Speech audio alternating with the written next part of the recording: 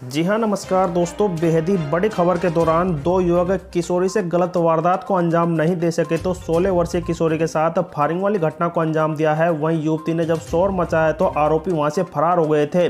युवती के मृत होने से पहले एक वीडियो सामने आया है। वीडियो में किशोरी से पूछा जा रहा है कि किसने उसके साथ इस फायरिंग वाली घटना को अंजाम दिया है। वह बार बार लकड़िया नाम ले रही है। इस दौरान जिस घटना स्थल पर इस घटना को अंजाम दिया गया था, वहाँ पर युवती की चप्पलें अभी तक पड़ी हुई हैं। पुलिस ने मुख्य आरोपी को गिरफ़्तार कर लिया है। दूसरे को गिरफ़्तार के करने के लिए छापेमारी की जा रही है।